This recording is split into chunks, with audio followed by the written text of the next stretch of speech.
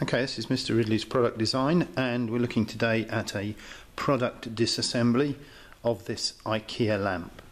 So, if we look at this IKEA lamp, it's quite a modern styled lamp.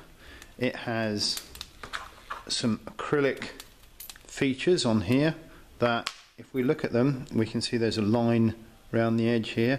So, these have been injection molded, possibly from high impact polystyrene or acrylic. They have small wire hooks where they hang onto the shade here. The shade is made of mild steel rod which has been welded together and then it is chromium plated or possibly nickel plated.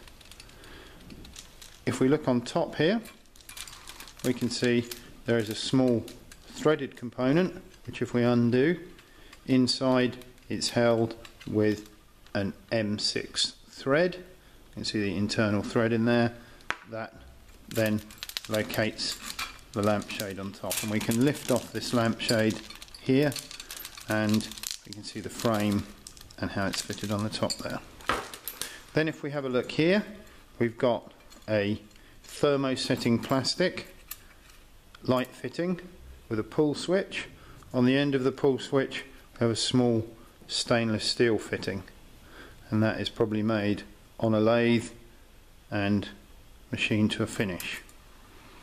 If we turn the base upside down, we can see that there's a heavy cast iron weight in the base to give the lamp stability.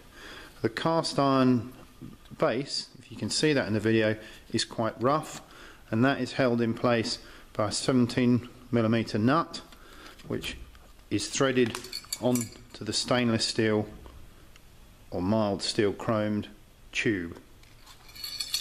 The base is left rough, so to make that look nice, we have a pressed stainless steel cover, and that is pressed from thin sheet steel.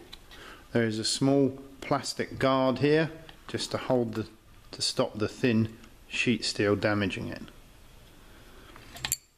The wires from the lamp feed from here down through the tubular part and come out here.